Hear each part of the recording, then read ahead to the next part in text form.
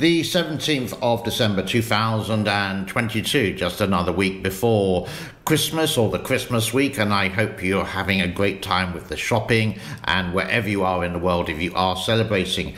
This video today is just a review starting from October 2021, near enough up to August of this year, a review what's happened with the Three Gorges Dam. Now, these are just some snippets that I've taken from my channel, but if you do want to watch the full videos, I do have all the links in the description below. Let's go back in time to October 2021. And before we start, I am going to apologize for the sound quality. When I'm editing, I will try my best to make it as good as possible. Here we go.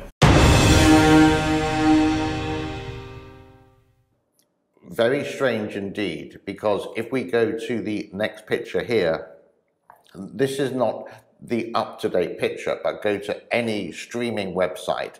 And as of this morning, the floodgates are not open at 171. Very strange indeed, because two weeks ago, I said this before, two weeks ago, gates one, two, three, four were open. Now, this could be a reason, or one of the reasons could be that if they do open four floodgates, then Wuhan is going to be flooded.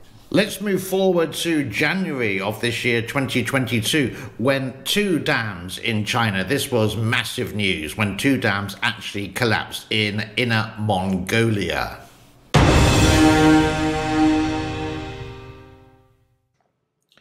Heavy rains in Inner Mongolia lead to the collapse of a dam. Okay, so what you can see here, I have slowed down and you can see this happened due to heavy rains of the summer of 2021. And I was looking for this footage for a very, very long time indeed. I haven't taken, I've taken out the sound of this so you can actually see the actual dramatic effect.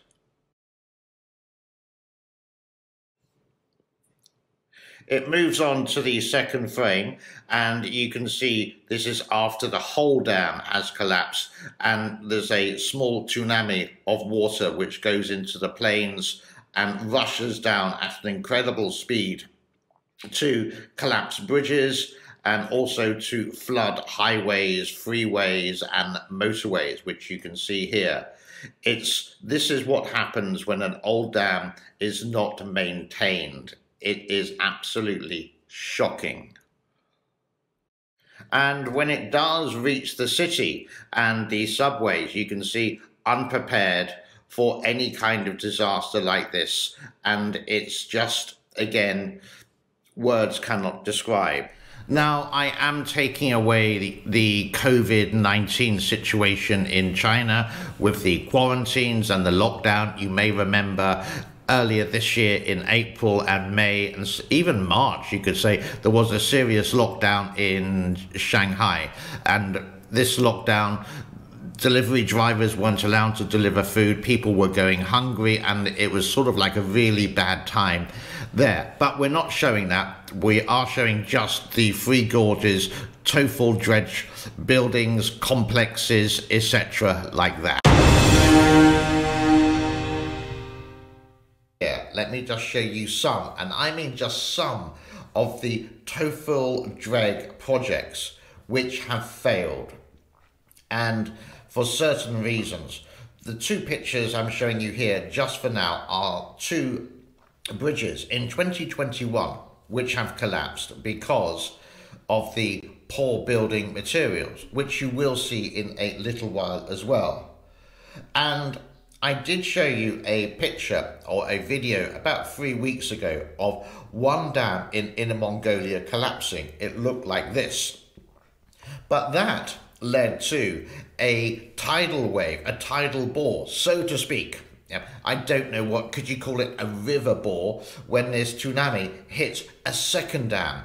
Because of the unprecedented rains or just bad construction that was happening in the summer, we've I've shown a video of the one dam collapsing in Mongolia and, sorry, inner Mongolia, and then because of the tidal wave, because of the river wave, whatever you want to call it, hit the other one, bam.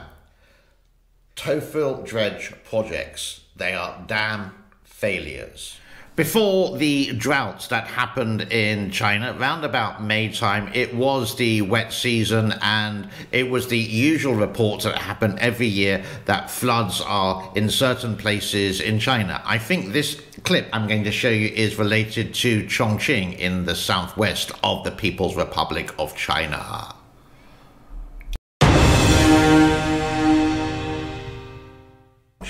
With 130 kilometer per hour winds.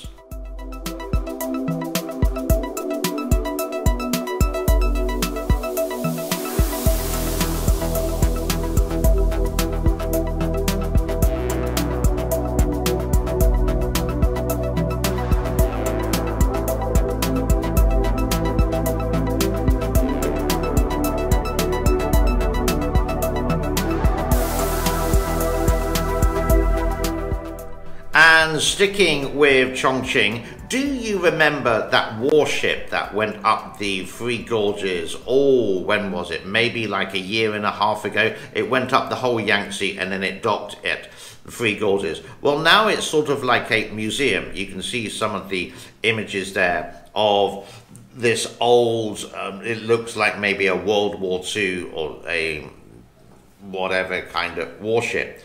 Now, quarantine in China, in some places like Shenzhen, I do believe, have some cases, looks like this. Um, and this is from a Douyin. Douyin is the Chinese TikTok, just showing you how they. And the complete opposite in August. China, many parts of China were suffering with 42 degrees heat.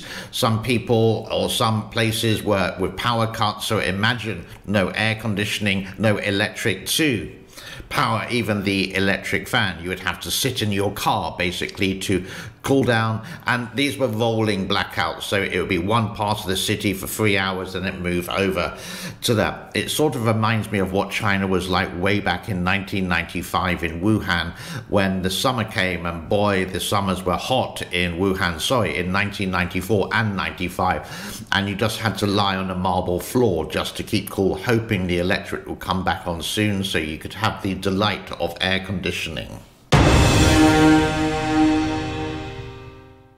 For, August 2022. This is the James Neil Cooper, and today we are going to delve into more of what's happening in the Three Gorges Dam. So, the very beginning, you did see a picture like this. Now, I'm going to leave the picture on so you don't see my ugly mutt. And if you look really closely, that you can see that there's very little water where the sluice gates are. Now, the government and the state media have mentioned that over the next five days, starting from about four days ago, they are going to release some water related to the eliminating the drugs downstream of the dam. Now, with have they or haven't they? This is the question. Here is a short video from state media saying that they have opened the sluice gates to relieve some of the drought downstream of 500 million or 500 billion cubic meters of water.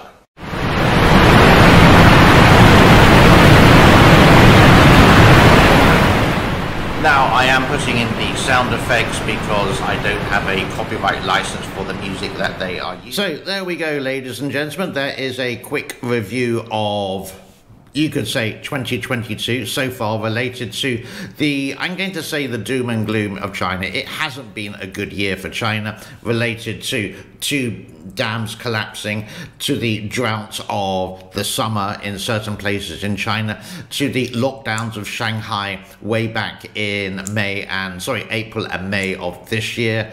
What's happening now in china i am covering usually on a daily report.